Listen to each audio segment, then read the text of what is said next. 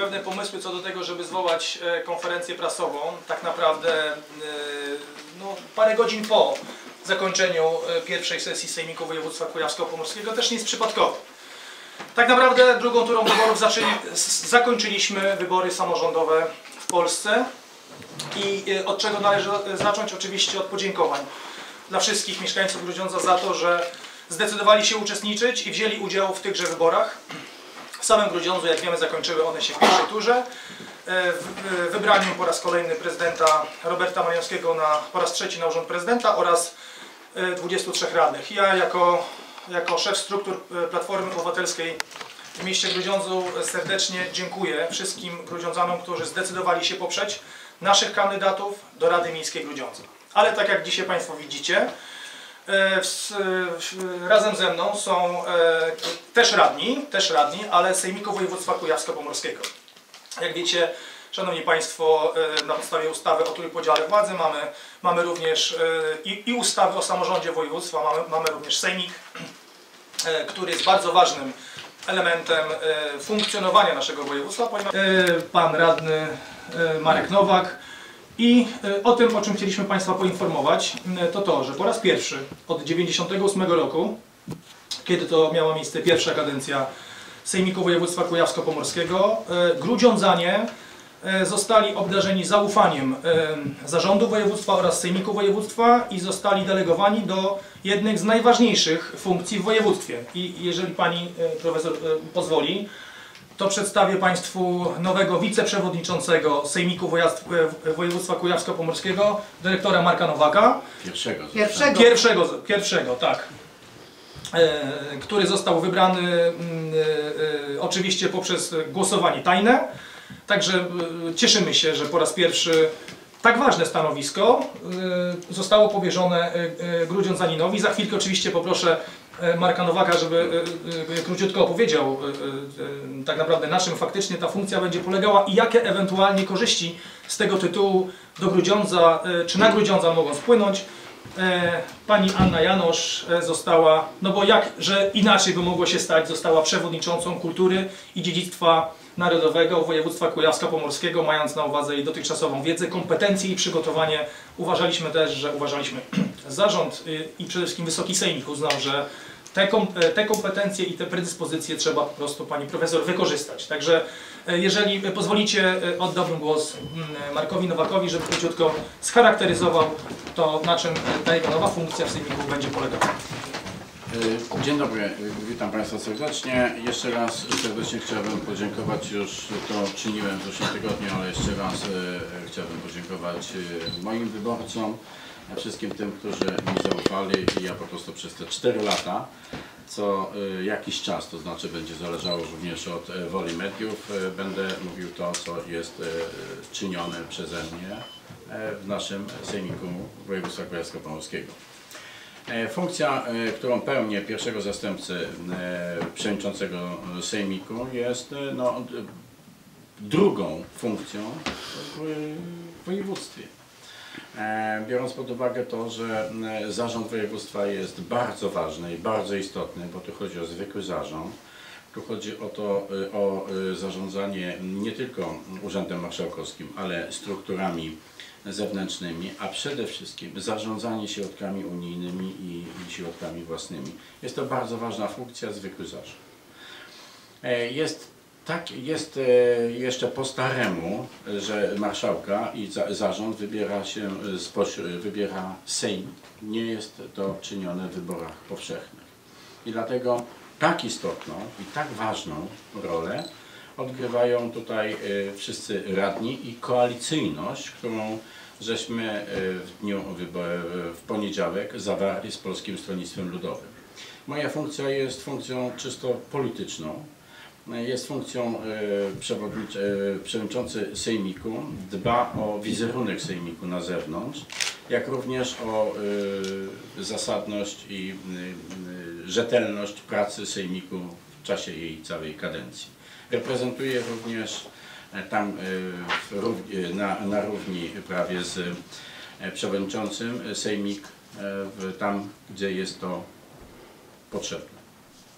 Natomiast tak naj, naj, najważniejszą rzeczą to jest to, żeby y, pracę Sejmiku ułożyć w taki sposób, i to jest właśnie prezydium Sejmiku czuwa na tym, żeby równomiernie rozłożyć rozwój naszego województwa. Żeby równomiernie trafia, trafiały pieniądze do tych najmniejszych. Nie tylko ważna jest Bydgoszcz, nie tylko ważne jest to, bo wyborcy i podatnicy również mieszkają w Grudziądzu, w Inowrocławiu, we Wrocławku i w innych, Brodnicy, y, Wąbrzeźna, w Łasinie, w każdej naszej miejscowości. Ja myślę, że ta kadencja powinna być kadencją nie tylko modernizacji województwa, ale również kadencją równomiernego jego rozwoju. E, Potrzeby oczywiście Bydgoszczy są olbrzymie, ale, podgo- e, ale mogą być po prostu też, e, ale są też potrzeby na rynku lokalnym, czyli po prostu w każdym, mm, w każdej miejscowości, nawet najmniejszej.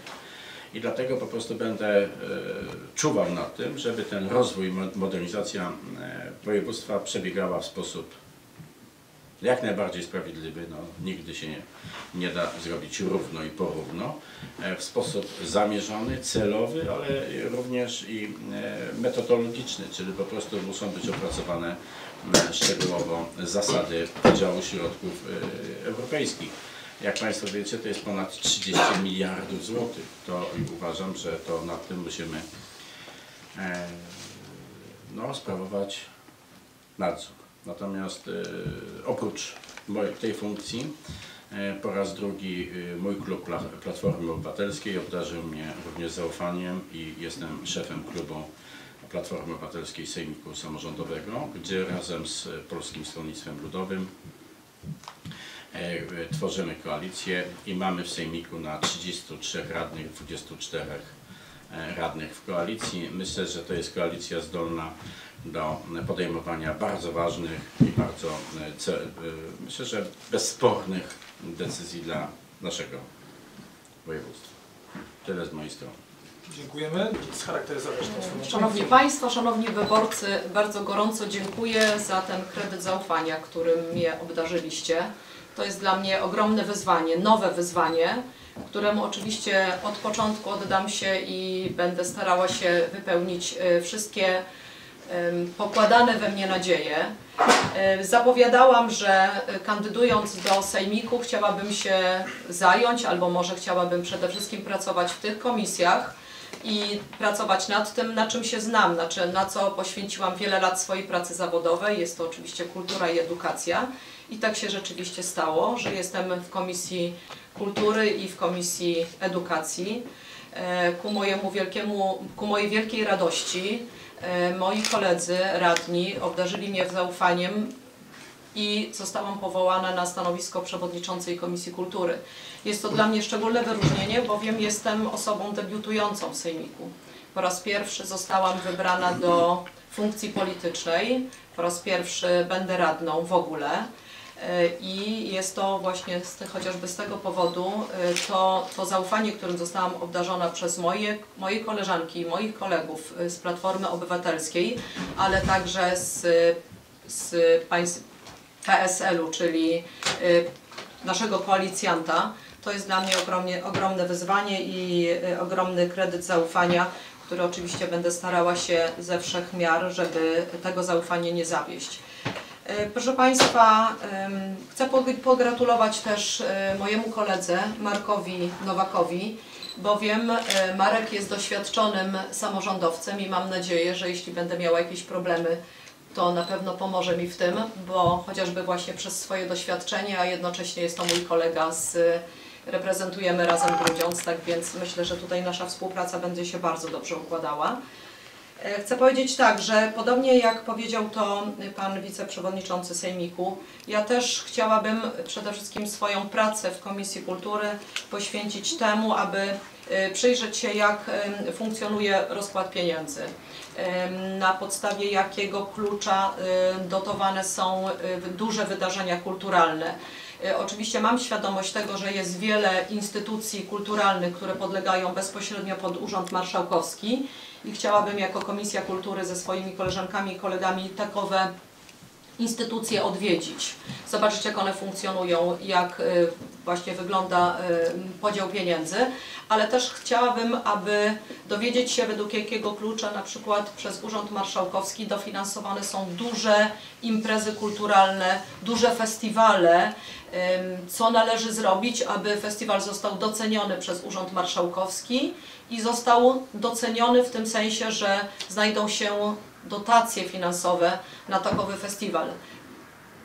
Zapowiadając wcześniej, poszłam tam po to, aby również uświadomić e, i radnym, i Urzędowi Marszałkowskiemu, i urzędnikom, że kultura to nie tylko Bydgoszcz i Toruń, że dużo ważnych rzeczy w sensie kulturalnym, dużo ważnych festiwali dzieje się w innych miastach, abyśmy docenili te imprezy, abyśmy docenili te festiwale i może warto, aby rzeczywiście Komisja Kultury, która również, praca Komisji Kultury będzie również polegała na tym, że będziemy robili wyjazdowe posiedzenia, aby rzeczywiście Komisja odwiedziła takie instytucje, może w mniejszych miastach i doceniła rzeczy ważne, dlatego że bardzo wielu twórców kultury działa w różnych miejscowościach i myślę, że należy podkreślić wagę tych imprez i mam nadzieję, że uda nam się nie tylko odwiedzić takowe instytucje, posłuchać co twórcy kultury mają nam do powiedzenia, ale być może wszyscy razem wspólnie będziemy dbali o sprawiedliwy podział dotacji, jaki będzie przygotowany dla kultury. Tutaj chciałbym podziękować e, panu posłowi Szymańskiemu, tak po prostu po ludzku, za to, że e, już nie jako szef struktur, ale jako poseł e, zdeterminowany był i mogę powiedzieć zasadniczy, walcząc, przekonując przede wszystkim gremia polityczne, że Grudziądz jest czwartym albo trzecim miastem, które należy brać pod uwagę. To najwyższe funkcje do tej pory piastowała Bydgoszcz i Toruń. I w tym sporze i w tym ogniu zaczęły topić się wartości. Ja nie chcę tego mówić, bo to nie jest moja sprawa, natomiast myślę, że tutaj zasługa pana posła, który y, w sposób, y, tak jak mówię, no, dla siebie zdecydo- zdecydowany, e, chciał i osiągnął to z nami oczywiście, że Grudziądzanom też za te wyniki wyborów, chociażby wieloletnie, należy się porządna reprezentacja w najwyższych władzach województwa. I chciałbym tu Panie Pośle podziękować Panu. Myślę, że taka determinacja będzie nadal towarzyszyła i myślę, że nasze miasto musi być trzecim, a może i lepszym. Kiedyś Grudziądz miał swoje, e, to było kiedyś królewskie miasto Grudziądz, Panie Pośle. Dążmy do tego. Może nie mamy króla, ale to miasto musi być naprawdę w dobrej kondycji i coraz lepiej będzie się rozwijało. E, Dziękuję bardzo za, za takie słowa, bo Szanowni Państwo, e, z czego to się bierze? No, z, z najprostszej matematyki, ponieważ tak jak Państwu na początku e, powiedziałem, Grudziądz miał swojego jedynego reprezentanta w pierwszej kadencji Sejmiku w latach 98-2002. Był nim Robert Malinowski, potem długo, długo nic do poprzedniej kadencji Sejmiku, gdzie we trójkę osiągnęliśmy mandat, wówczas Robert Malinowski zrezygnował z mandatu na rzecz Urzędu Prezydenta i już wtedy widzieliśmy, y, że siła Grudziądza i reprezentatywność mieszkańców naszego miasta w Sejmiku jest y, y, Zbyt skromna. zbyt, zbyt skromna, ale też nie mamy żadnego wpływu realnego na to, co tak naprawdę w tym sejmiku się dzieje, jakie są kierunki obierane. Obserwowaliśmy i obserwujemy do dziś oś, oś sporu pomiędzy Toruniem a Bydgoszczą i przyjęliśmy taką zasadę, że wszystkie ręce na pokład, że y, ta kadencja, aktualna kadencja Sejmiku Województwa Kujawsko-Pomorskiego i bardzo silna, reprezentatywna obsada Grudziądza musi wpłynąć korzystnie na, na naszych mieszkańców. Dlatego, tak jak y, pan wiceprzewodniczący Sejmiku powiedział, determinacja co do tego, żeby y, Grudziądzanie zaangażowani byli w najwyższe funkcje w Sejmiku była ogromna, ale tak jak powiedziałem, przemawia za tym matematyka. W okręgu numer 3, w którym startowaliśmy, troje naszych kandydatów uzyskało wynik około 17 400 głosów, co stanowiło ponad 63% głosów oddanych na listę.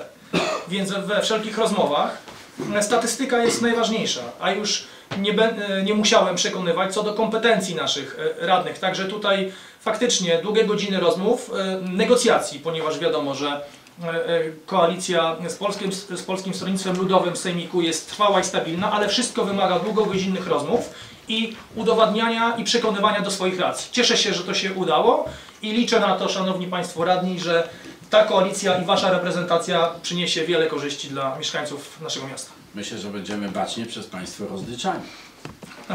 Czego Państwu i sobie życzymy? potem, najpierw obserwowani. Obserwowani. Dziękuję. Czy macie Państwo jakieś pytania do nas? No może do Pani e, Radnej, mikrofon. E, mówi, mówi Pani o tym, że no, ten e, rozdział pieniędzy musi być sprawiedliwy, wiadomo, natomiast no, my musimy podpytać pod kątem Grudziądza, oczywiście no, to jest za wcześnie jeszcze, ale czy Grudziądz przez Pani funkcję w Sejmiku ma szansę na coś, na co do tej pory szansy nie miał, jeżeli chodzi o mm, działkę kultury oczywiście. Mam nadzieję, że tak. Y, Chociażby y, po wstępnej, mm, wstępnej lekturze budżetu na następny ro, rok, bo już taką przymiarkę do budżetu otrzymaliśmy, y, już widzę, że na przykład są festiwale teatralne, ale także muzyczne, które są organizowane przez instytucje niepodlegające pod Urząd Marszałkowski, a otrzymujące dotacje na organizację takiego festiwalu. Stąd na przykład, dlaczego te festiwale się nie znalazły. Być może jest jakiś klucz, którego, według którego my nie, nie udało nam się takiej dotacji otrzymać. Ale myślę właśnie, że przez merytoryczną rozmowę i członków komisji, ale także z y, pracownikami Departamentu Kultury. Mam nadzieję, że takie informacje otrzymamy już na pierwszym posiedzeniu i chociażby właśnie przez takie rozmowy mam nadzieję, że Grudziądz zyska, bo po to tam jestem. Ja mogę bardzo cieszę, że, e, że Ania zajmie się kulturą. No jest jeszcze, ma taki power, jest e, po prostu, chce jej się i to jest najważniejsze. Dlatego, że Aniu, ja Ci życzę, bo Ty będziesz miała pierwsze posiedzenie komisji, to od przewodniczącego komisji będzie zależało. I to komisja ustala priorytety wydatków własnych.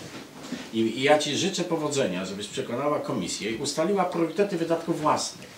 Bo oprócz wydatków własnych samorząd ma e, pieniądze zewnętrzne, czyli te unijne. Również komisja ma bardzo decydujący głos na e, proponowanie konkursów kulturalnych e, finansowanych ze środków Unii Europejskiej. Ja myślę, że ja się cieszę, dlatego że Twoje pomysły e, i myślę, że szybko opanujesz, to jest kwestia jednego posiedzenia, będziesz się już czuła jak e, ryba w wodzie, ale najważniejsze na pierwszym posiedzeniu trzeba rozmawiać i to, co mówiłaś, o priorytetach równomiernego rozłożenia środków na wydarzenia kulturalne w naszym województwie z uwzględnieniem Grudziądza. Ja powiem szczerze, ja do tej pory mój wysiłek, to jak wiecie Państwo, co by nie powiedzieć, mam różnych oponentów.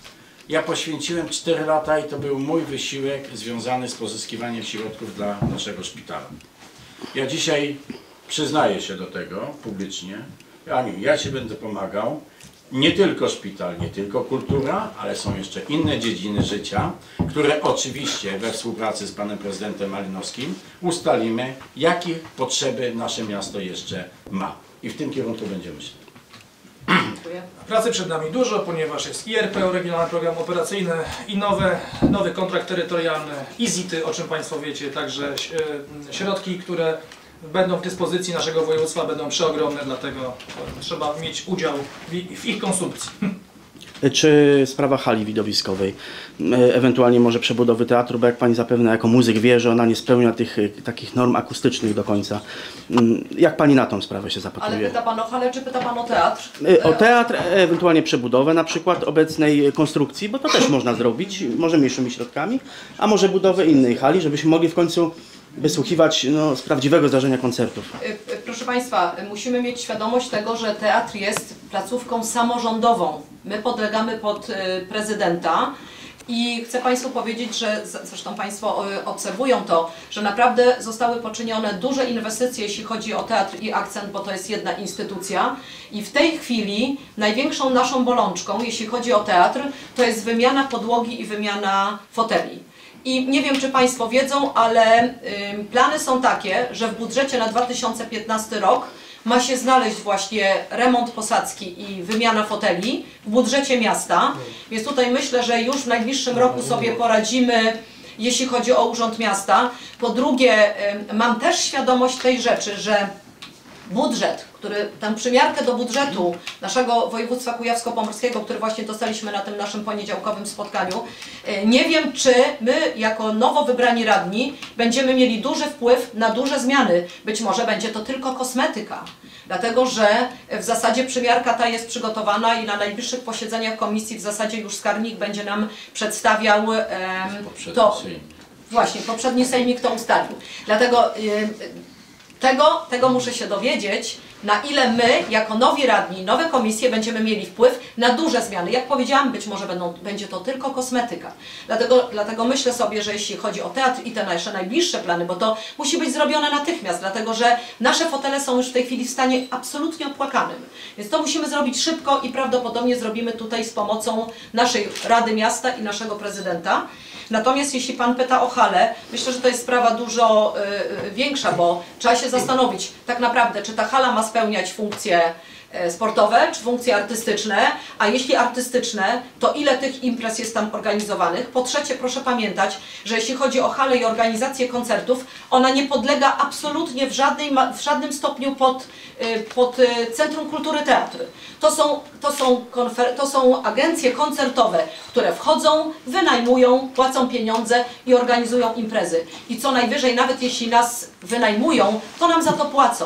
Dlatego myślę, że proszę Państwa, jeśli chodzi o rozmowy na temat hali, to musiałoby to być y, rozmowa za jakiś czas, kiedy wspólnie być może tu w urzędzie, w, w urzędzie Miasta czy z radnymi na komisjach będziemy się zastanawiali, w jakim kierunku z funkcjonowaniem tej hali pójść. Więc y, obawiam się, że to pytanie jest, chyba jest przedwczesne na tę chwilę. Y, Myślę, że mamy tutaj regionalnie dosyć dużo tych imprez. Y, One się dzieją nie tylko w teatrze, na przykład GAPA, o której Pani wspomniała, ale też na przykład Endek. Tam naprawdę no, widowni by nie zabrakło, nawet w tych mniejszej rangi wydarzeniach, które mogły ponad region by, że tak powiem, tutaj wystąpić.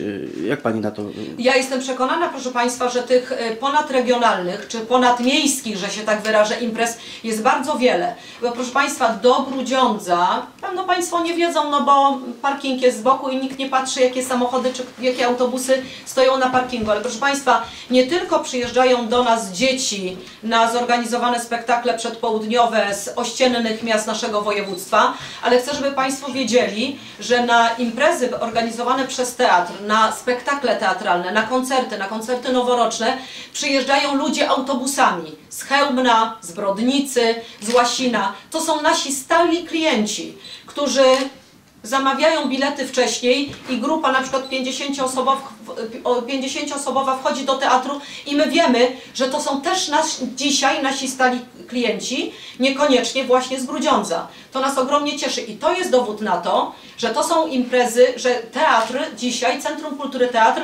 proponuje ofertę ponadmiejską, że tym mogą zainteresować się ludzie z innych miast. Proszę mi wierzyć, przyjeżdżają na nasze imprezy też ludzie z Torunia i z Bydgoszczy, a nierzadko też z Gdańska.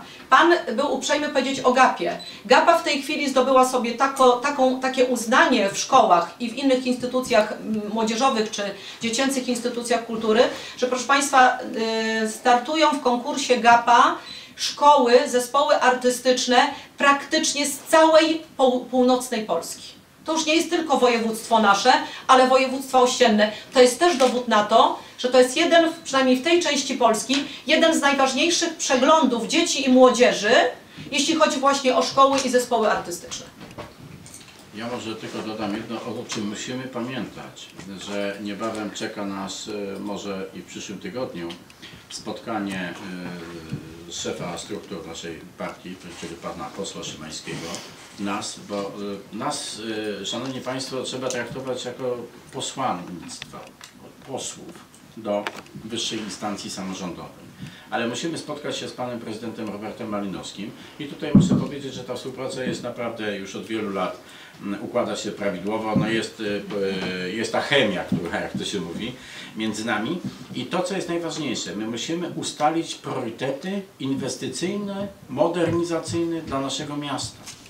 I w tym momencie, bo my też musimy wiedzieć, o jakie projekty my mamy zabiegać, jakie projekty my musimy zgłaszać, jakie konkursy my musimy proponować Wysokiemu Sejmikowi i jakie środki możemy po prostu, na jakie środki liczyć. Pamiętając również o tym, że w tej modernizacji, czy mówiąc o hali, mówiąc o e, szpital, mówiąc e, o e, teatrze, my musimy również patrzeć na to, a wiem o tym, jestem głęboko przekonany, że budżet miasta jest na to przygotowany, na udział własny, bo to są środki, mogą być unijne. Dlatego myślę, że najważniejszą rzeczą to jest e, spotkanie się, nie wiem kiedy pan poseł będzie proponował takie spotkanie, ale musimy spotkać się i określić jeszcze raz. Tak, my potrzebujemy określenia zadań, które mamy do wykonania na rzecz naszego miasta, a pracować musimy na rzecz całego województwa. Natomiast e, myślę, że panie pośle to tydzień, dwa i będziemy mieli już e, pewne zadania na przyszły rok. Nie wiemy, jakie po prostu tutaj priorytety ustalił pan prezydent z Radą Miasta.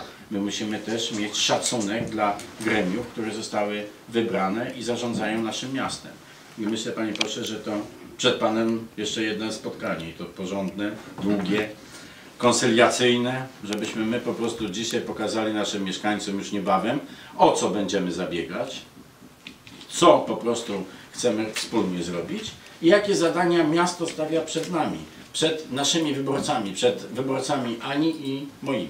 A te zadania są już określone, bo one są, zostały wpisane do strategii rozwoju województwa. A to Tak wiemy jest, i tym. kilkanaście. Zostały wpisane też Tylko- do regionalnego programu operacyjnego, którego kształt, kształtu ostatecznego jeszcze nie znamy. Ale ma pan rację. I wśród tych zadań jest hala wystawienniczo-widowiskowa. Widowiskowo-sportowa, wystawienniczo- E. Czy ona jest w naszym mieście potrzebna? Czy my potrzebujemy takiego obiektu dużego, wystawienniczego? Kto będzie to utrzymywał? Kto będzie tym zarządzał? To są pytania otwarte. Pytanie, czy Państwo będą wspierać taki projekt i lobbować na rzecz takiego projektu? Czy mogę się dołączyć do pytania, żeby nie powtarzać? E, Kiedyś w Grudziądzu były takie targi, prawda? Nadwiślańskie.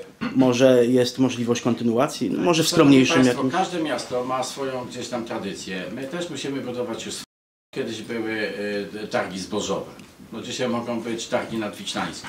Naprawdę mamy na to jeszcze trochę czasu. Natomiast to, co Pan redaktor powiedział, to y, strategia województwa jest przyjęta. Ona jest po prostu pewnym y, celem, który chcemy osiągnąć, ale w perspektywie unijnej 2014-2020. A spotkanie ma dotyczyć priorytetów. Czy ta hala będzie potrzebna teraz, w 2015, 16, 17 czy 20? Pytanie, czy my- w ogóle jest E, A to czy w ogóle jest potrzebna, to dlatego będziemy zwracać się do e, Rady Miasta i Pana Prezydenta jako bezpośrednich przedstawicieli naszych mieszkańców. Pamiętajcie Państwo jeszcze bardzo krótko o, o strukturze finansowania tego typu inwestycji, które będą. Przede wszystkim kwalifikowalność VAT. Do tej pory tego nie było. VAT był kosztem. 85% dofinansowania na tego typu obiekty e, są bardzo dużym i ciekawym wyzwaniem dla samorządu. Oczywiście budując e, e, koncepcję w głowie przede wszystkim czemu ma służyć ta hala, oczywiście ona powi- powinna spełniać jak, naj, jak największe funkcje, żeby w tej hali. Dokładnie, żeby, żeby w tejże hali mogło się odbywać szereg, albo jak nie wszystkie imprezy, które mogą dotyczyć funkcjonowania miasta we wszystkich obszarach. Dlatego y, to, co Marek ma na myśli, y, to jest tak naprawdę hierarchia i kolejność najważniejszych rzeczy. Tak? Y, Oczywiście hala została wpisana, bo tak jak y, y, Pan powiedział, jest RPO, jest, są również ZIT-y, tak? Jest Też, i jest kontrakt terytorialny, dokładnie. Tych inwestycji będzie dużo. Y, Pytanie o właśnie o to, w jakim stopniu będą dofinansowane, tak? I co będzie priorytetem. Chodzi też o to, żeby nie realizować inwestycji tylko dla realizowania inwestycji, bo hala, ją trzeba będzie utrzymywać, tak? I on będzie musiał coś wprowadzić, ktoś będzie musiał ją administrować, to są koszty. Chodzi o to, żeby robić takie projekty, które albo wychodzimy na zero, tak? Albo przynoszą nam jakieś zyski. Proszę mi wierzyć, jeszcze proszę mi wierzyć, e, mając na uwadze kazus Pruszkowa i hali e, e, z torem tolarskim, tak, i jeszcze innych obiektów stricte sportowych dedykowanych chociażby KS Toruń i Stadion Żużlowy, które są dedykowane wyłącznie jednej, jednemu obszarowi, jednej dyscyplinie, to przede wszystkim wiem, że tworząc koncepcję wpisywania pewnych założeń inwestycyjnych i projektowych brano pod uwagę koszty utrzymania, szacunkowe koszty, które mogą oczywiście po tym okresie wykonawstwa obciążać budżet gminy, tak? I to było priorytetem, żeby nie wybudować pomnika, który nie będzie służył tak naprawdę nikomu, oprócz tego, że trzeba będzie co roku dokładać coraz to większe koszty ze względu na amortyzację danego obiektu, albo też, że trzeba będzie po prostu światło palić dla garstki ludzi. Ja jeszcze tylko jedno dodam. E, W tej chwili się coś zmieniło. Myśmy e, modernizowali nasz kraj w bardzo szybkim tempie. Proszę pamiętać, że myśmy się przesiedli z Wielbłąda na Odrzutowiec. Myśmy po, po, po drodze nawet nie potrafili samochodem się poruszać, bo takie tempo było i tak byliśmy spragnieni rozwoju naszego kraju. Popełniliśmy wiele błędów, pewnie, w każdym miejscu. Ja myślę, że dzisiaj nie ma czegoś takiego, bo ja po prostu mam doświadczenie realizując i rozliczając 20 projekt unijny w szpitalu. Ja y, od niedawna muszę pisać studium wykonalności, ale studium zasadności i studium kosztochłonności. Dzisiaj Unia Europejska i będziemy świadkami niebawem, e, albo będą e, gminy zwracały pieniądze, bądź po prostu będzie, będą nakładane jakieś kary, nie wiem, ale y, żeby rozliczyć pierwszą perspektywę unijną 2007-2013, niektóre gminy, które poszły za daleko ze swoją wyobraźnią, będą miały schody.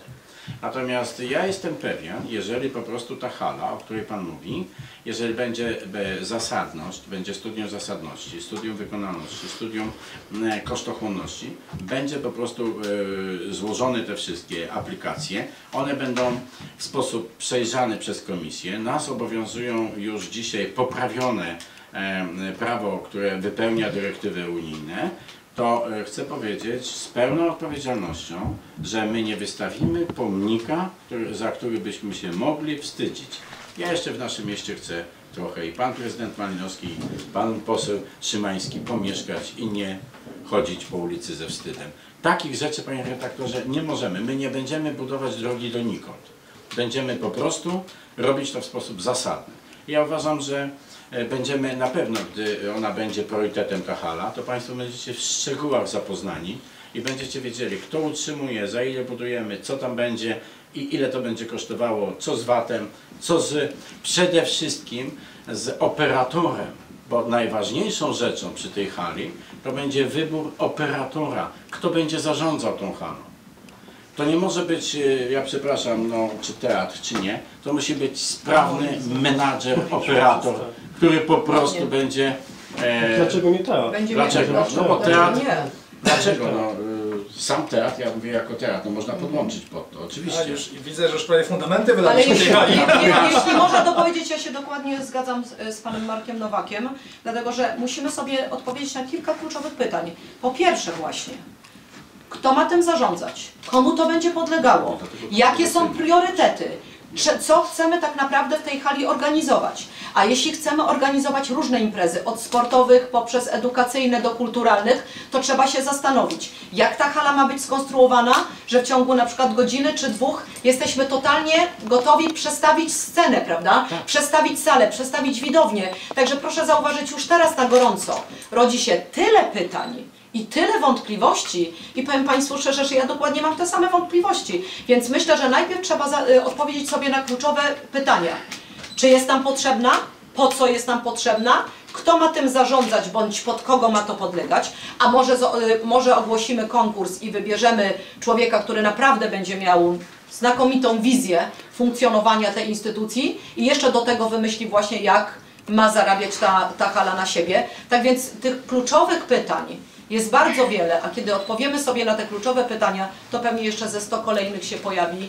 O co, co tak właściwie ma się tam dziać? Zapraszam Państwa na Broadwayu, jest potężna hala, w której byłem. Wystawiana była Aida Verdiego, a za trzy dni były potężne nowojorskie e, targi starociami.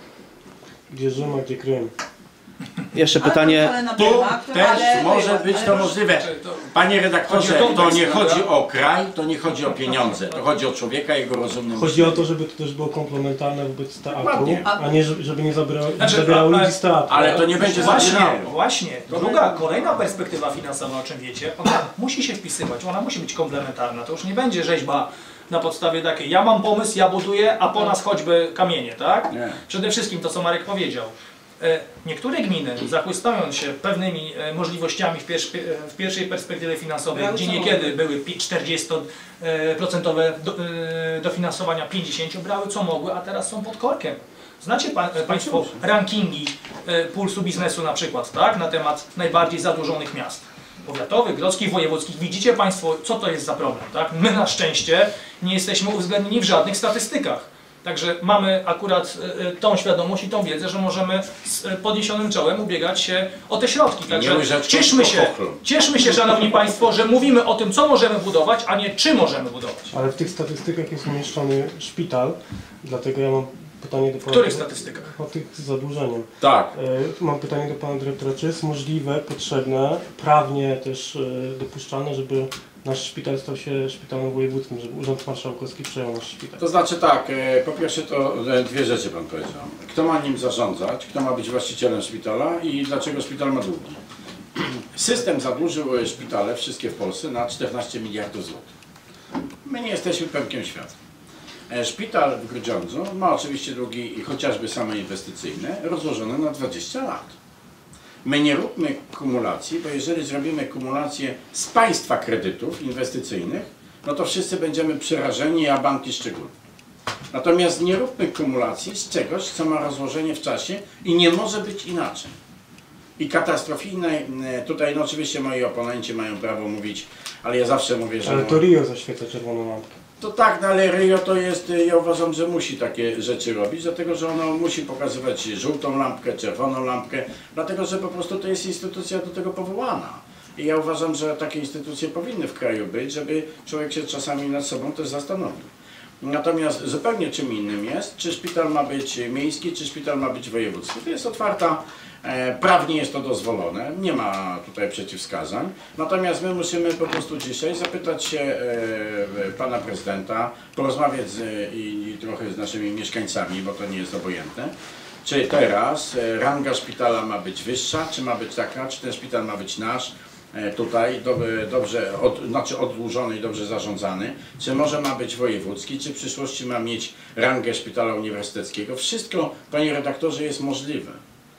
Dlatego, że tylko my musimy dzisiaj, wszyscy mi mówili jeszcze 5 lat temu, że szpital jest za duży, że niepotrzebny. Ale panie dyrektorze, przepraszam, że przerwam. No. On, de facto jest wojewódzki, tak? Jeśli chodzi o pacjentów. No, Jeżeli to- chodzi o... Nie, tak. dzisiaj nie ma e, żadnej, e, dzisiaj nie ma rejonizacji. Dzisiaj szpital ma, i jeszcze, jeszcze mówię 5 lat temu, mówiono, że szpital jest za duży. Ja dzisiaj, proszę Państwa, mam kolejki, z którym Państwo mi zadajecie trudne pytania, ja nie potrafię na nie odpowiedzieć. Są kolejki olbrzymie, i dwuletnie, i trzyletnie. Ja nie potrafię sobie z tym poradzić, dlatego że my mamy taką renomę, że z południa Polski otrzymujemy, przyjeżdżają coraz więcej pacjentów. Dobrze, że mamy taki szpital, on jest wizytówką. Miejmy następne wizytówki, a wtedy nasz, nasze miasto będzie wizytówką naszego kraju. I tylko takie myślenie pozytywne. przejęcie Ja, ja może, jest możliwe, ja może no odpowiem ale- w ten sposób. Ja może Szanowni Państwo, e, e, Marek Nowak nie mówi o tym, aczkolwiek powinien o tym mówić, że rejon oddziaływania, ja to nazwę umownie, rejon oddziaływania szpitala bezpośredni to jest 400 tysięcy pacjentów. Więc de facto to, o co Pan pyta, tak, on ma wymiar wojewódzkiego szpitala, ponieważ ma takie oddziaływanie. Pytanie teraz o to, w którym kierunku pójdziemy.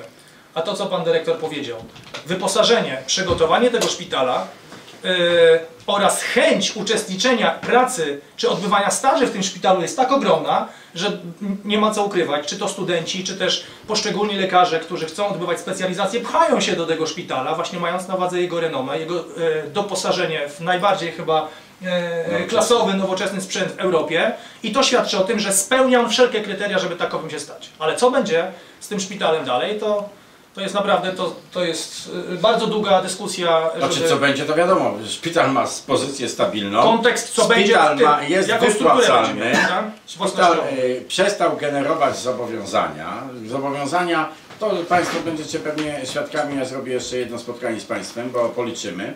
E, Po raz pierwszy zaczęły spadać nasze długi, spadać zobowiązania. Myśmy, proszę Państwa, przestali budować szpital. Teraz go rozliczamy. Natomiast jaki status będzie jego, to ja myślę, że dzisiaj jest to status najbardziej nowoczesnego szpitala w Polsce i to jest opinia naszego rządu i, i, i, i- gremiów rządowych. Natomiast to, że on ma długi, to on po prostu, każdy szpital ma długi, szpital w, w, w Gdańsku też. Natomiast jego pozycja w rynku jest bardzo stabilna, jego pozycja na mapie Polski jest bardzo stabilna, i, i, i, a przyszłość szpitala, kto będzie nim zarządzał? Na to pytanie nie potrafię odpowiedzieć, bo może być jeszcze tak. Jak będzie wola Rady Miasta, wola Sejmiku, to może być albo y, zarządzany jak dotychczas przez pana prezydenta, może być zarządzany przez pana marszałka, a wiem o tym, że już e, jest propozycja, nie będę na razie tego tematu rozwijał, o tak zwanym powstawaniu sieci szpitali państwowych. I wtedy jesteśmy też tam mile widziani. Centrum Popularyzacji Nauki. Rozmawiali Państwo w własnym gronie, jak ten temat dalej pociągnąć, koncepcja, bo jest marina, możliwość rejsów statkiem na przykład. W ramach tego centrum To również... może ja powiem, Szanowni Państwo, No odpowiem na to pytanie, bo niestety y, za 45 minut mam pociąg do Warszawy, spieszę się na Sejm. E, Jak Państwo pamiętacie, to była moja e, koncepcja, którą uzgodnialiśmy powielokroć e, z dyrektorami poszczególnych departamentów Urzędu Marszałkowskiego. To, co najważniejsze, to, to jest to, co, e, e, to, że wpisana koncepcja m, budowy wielotematycznych, interdyscyplinarnych sieci tego typu placówek została wpisana do strategii rozwoju województwa. Od marszałka, co prawda jeszcze minionej kadencji, ale marszałka Piotra Całbeckiego, mam tak jakby słowo, że Grudziąckie Centrum będzie pierwsze. Że Grudziąckie Centrum będzie pierwsze. To mam zapewnienie. Jako, że mamy nową kadencję Sejmiku i mamy takie wsparcie naszych radnych, uważam, że to będzie chyba jedna z pierwszych inwestycji, która e, gwarantując jej tak jakby e, chronologię i ciągłość, powinna w Grudziądzu e, zostać zrealizowana. To jest, to jest moje zdanie. Szanowni Państwo, ja, ja dziękuję, ja muszę uciekać, jeżeli Państwo macie pytania. Ostatnie pytanie do Pana. To Urząd Marszałkowski będzie prowadzić to centrum, czy to spadnie na miasto? E, to jeszcze nie wiemy, jak to ma wyglądać. To jest ta koncepcja ścisłego e, funkcjonowania, nie wiemy, jak to będzie wyglądać, ale powinna, powinna być w jakimś sensie obsługiwana przez Urząd Marszałkowski. Dlaczego? Ponieważ będzie to sieć. To nie będzie tak, że Grudziądz będzie miał takie samo jak w Toruniu, we Wrocławku, w Inowrocławiu. One mają się uzupełniać. To ma być, e, e, to ma być uzależnione od tego, że w mieście Grudziądzu dedykujemy na przykład obszar, załóżmy, elektroenergetyki czy fizyki, tak, ale już na przykład w Toruniu będzie to związane być może z biologią, tak? To tak ma chodzić, tak ma to funkcjonować, dlatego nie wyobrażam sobie, y, tak jakby, żeby pieczy merytorycznej, a więc finansowej, nad tym nie, nie posiadał również marszałek województwa, czyli y, Urząd Marszałkowski Województwa. Do Pana Dyrektora jeszcze na pytanie. Linia tramwajowa do szpitala potrzebna, czy, czy, czy, czy nie bardzo? Biorąc pod uwagę to, że e, no dzisiaj e, oczywiście każdy środek lokomocji e, przyda się do komunikacji ze szpitalem. To jest jasne i, i, i, i nie, nie, nie ulega tutaj żadnej kwestii ani negowaniu. Natomiast e, czy to będzie linia tramwajowa? Oczywiście fajnie by było, dlatego że ona by łączyła również tak całe miasto, które jest długie, rząd Strzemięcin. Natomiast e, i ten plac e, nasz stycznia, 23 stycznia, on by nadal tętnił życie, tak, te, życie, tak jak tętnił to jeszcze zaraz w okresie międzywojennym. Natomiast jest dzisiaj już zrobione rondo, są drogi dojazdowe dobre, parkingi są pojemne, natomiast rzeczywiście jeżeli będzie taka wola i przyzwolenie Rady Miasta i będzie wola Pana Prezydenta, oczywiście dodatkowe środki, dodatkowe środki, e, środki komunikacji są mile widziane. Jeszcze takie pytanie na koniec z, z granic tabloidowych. E, nie zapłacił Pan za parkowanie przed chwilą. Dostanie Pan prawdopodobnie mandat, jeżeli się nie mylę. Czy jako osoba, druga osoba w województwie nie powinien Pan no, przykład dawać? Tym bardziej, że wprowadził Pan płatne parkingi szpitala. E, tak, oczywiście I, i chcę powiedzieć, że zdarza mnie się to czasami, oczywiście. No ja na przykład mandat wczoraj dostałem, dlatego to tak, pytanie mnie e, porusza. Zdarza się mnie, ja nie jestem osobą, e, która po prostu jest e, Panem Bogiem na ziemi. Zdarzają, zdarza mi się otrzymywać mandaty i mogę powiedzieć, patrząc Panu prosto w kamerę, z wszystkie mandaty płacę. Jak będę miał mandat, pojadę i zaraz zapłacę, bo wiem, gdzie jest Straż Miejska, czyli spotkam się tam e, przy Wodnej Bramie.